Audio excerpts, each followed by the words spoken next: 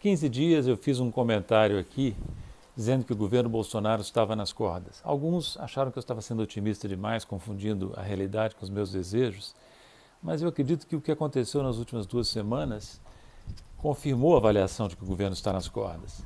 Me refiro, por exemplo, à tumultuada negociação do orçamento, ainda incompleta neste momento, com o governo enfraquecido, enfrentando dificuldades com a sua base no Congresso, que é o Centrão, o ministro da, da Economia, o Paulo Guedes, também enfraquecido no processo.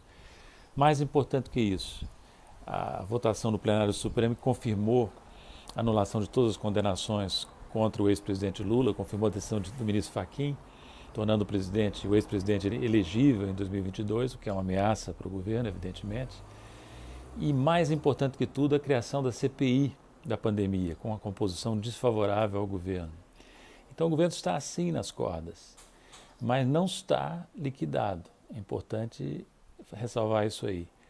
Ele pode inclusive se recuperar, pode se recuperar. Em política acontecem coisas muito surpreendentes. Ele está muito fraco, mas pode voltar à tona. Né? E aí mora o perigo. Eu entendo que a hora é de partir para jugular, para jugular desse governo antinacional antipopular que já cometeu uma série de crimes de responsabilidade, já deu motivos amplos para o impeachment. Né? Eu não quero lançar mau agouro, mas eu temo que os adversários do Bolsonaro possam cometer o erro que cometeram os adversários do Lula em 2005. Recordo rapidamente. Em 2005, o presidente Lula estava nas cordas também, com o mensalão, a queda do Zé Dirceu, parecia liquidado os seus adversários avaliaram que, que era, não era o momento de levar o impeachment à frente. Temiam o vice de Lula, o, o José de Alencar, que era mais heterodoxo, mais à esquerda do que Lula em matéria de política econômica, crítico do sistema financeiro, crítico dos juros altos.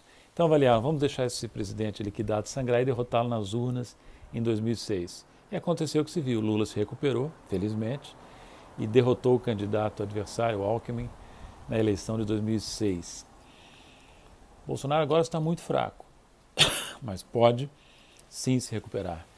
E o perigo é muito grande, porque o Brasil está pagando um preço realmente altíssimo por ter esse presidente profundamente despreparado e destrutivo na presidência.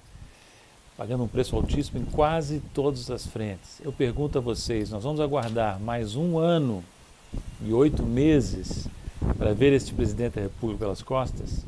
E pior, correndo o risco de que ele se recupere e possa até se reeleger? Não pensem que isso é impossível.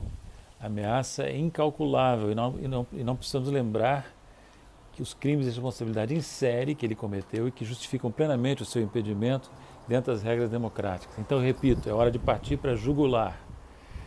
E eu queria deixar uma palavra final para os meus amigos do PT e da esquerda. Né? Não sejam irresponsáveis com o Brasil pisando leve com Bolsonaro agora. Não se percam em cálculos eleitorais mesquinhos, imaginando que é o que o mais fácil é derrotar Bolsonaro nas urnas em 2022. Pode até acontecer, mas o estrago até lá para o Brasil será imenso e o risco de derrota não é desprezível e teria consequências catastróficas.